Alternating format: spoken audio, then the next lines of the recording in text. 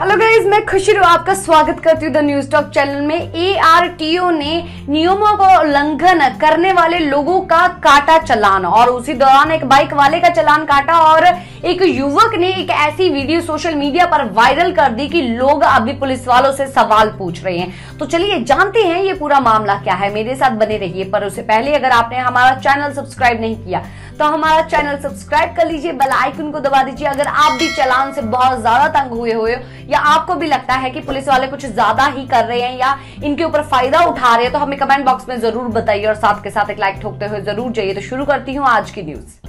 मंडी समिति गेट पर चेकिंग हो रही थी और पुलिस कर्मचारी वहाँ पर तैनात हुए हुए थे। और आप लोगों को पता है कि फ़र्स्ट सितंबर 2019 से चलान का सिलसिला शुरू हो चुका है, क्योंकि बहुत सारे नियम बदल चुके हैं। अगर आपने हेलमेट नहीं पहना हुआ, तब आपको भारी भरकम चलान देना पड़ रहा है। और जगह जगह पर पुलिस तैनात हुई हुई है। लोग घर से निकलने के लिए डर रहे हैं। और जिनके पास डॉक्यूमेंट्स है तो उन, वो उन लोगों का भी कहना ये है कि पुलिस वाले कुछ ना कुछ करके उनका चलान काट देते हैं। या तो सौ रुपए का, या तो पाँच सौ रुपए का, या तो हज़ार रुपए का उनके हाथ में चलान पकड़ा पकड़ा लिया जाता है। और उसी दौरान अगर उनके पास वो पैसा नहीं है तो उनकी गाड़ी भी जब्त कर ली जाती है। हमारे सामने एक ऐसा ही मामला आया है, जो कि पुलिस और एक बाइक सवार का है। एक्चुअली पुलिस वहाँ पर तैनात थी, पुलिस की टीम, और काफ़ी सारे वहाँ पर चलान काटे जा रहे थे। लोग जिन्होंने हेलमेट नहीं पहना हुआ था, जिनके पास लाइसेंस नहीं था, जिन्होंने चप्पल नहीं, चप्पल पहनी हुई थी, बहुत सारी ऐसी चीज़ें होती है, जिनके ऊपर एक्चुअली में अभी फॉलो करना बहुत ही ज़्यादा अहम बन चुका है। और वहाँ पर एक बाइक सवार का चलान काटा गया, क्योंकि उसने हेलमेट नहीं पहना हुआ था, और वो ट्रैफ़िक रूल्स का उल्लंघन कर रहा था।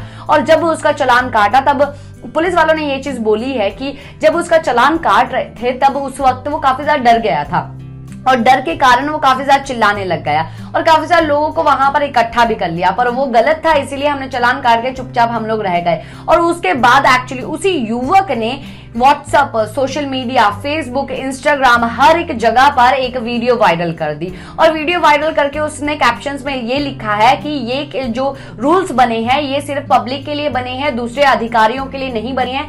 तो ये सवाल पूछा गया, जिसको देख के लोग काफ़ी ज़्यादा भड़के हुए पुलिस वालों के ऊपर। और अभी वहाँ की पुलिस, जो ट्रैफ़िक पुलिस है, उनके हेड ने ये चीज़ बोली है कि ये जो वीडियो है, ये सरासर झूठी है। ये मिक्सअप करके कुछ ना कुछ बनाई गई है और उसी दौरान जो वहाँ पर इंस्पेक्टर खड़े थे, वो चला चालान काट रहे थे और चलती हुई गाड़ी में नहीं, खड़ी हुई गाड़ी में बैठे थे और फ्रंट सीट पे बैठे थे और उस दौरान चलती हुई गाड़ी नहीं थी, रुकी हुई गाड़ी थी और उस वक्त उन्होंने सीट बेल्ट नहीं पहनी हुई थी। तो इसको तोड़ मरोड़ के सोशल मीडिया पर बताया जा रहा है, हमारी कोई गलती नहीं है और युवक ही ये सब चीज़ें कर रहा है। हम सिर्फ़ उन लोगों का चलान काट रहे हैं जो लोग उल्लंघन कर रहे हैं। सो गाइज़ आपको भी ये चीज़ लगती है कि वो युवक युवक झूठ बोल रहा है? क्या आपको भी ये लगता है कि सच में उन लोगों ने गलत चलान किया है? क्योंकि युवक का दावा है कि उन लोगों ने उसको पकड़ के गलत चलान किया है और उसे पैसे ज़बरदस्ती वसूले हैं। इस कारण वो काफ़ी ज़्यादा वहाँ पर भड़का था।